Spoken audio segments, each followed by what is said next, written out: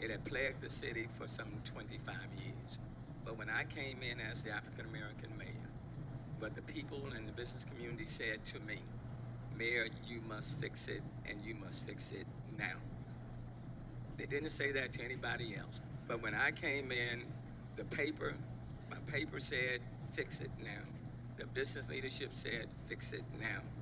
Um, and I will say, and brought in all of the union groups and said, we need to address it. These are the things that, these three things that I need.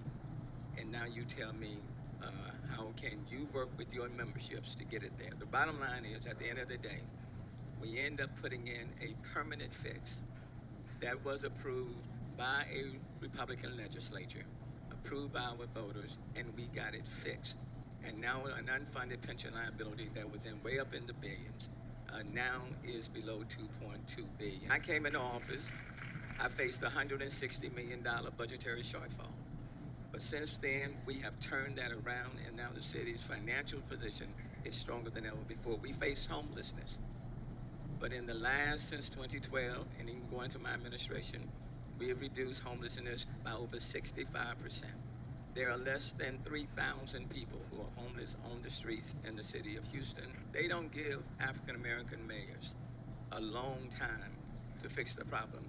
Even African Americans will say to you, Mayor, you need to fix, where are you and fix it right now. We don't have a long runway. They may give it to somebody else that doesn't look like us. But when we step in as mayor, people want the grocery stores yesterday. They want an elimination of energy deserts, food deserts yesterday.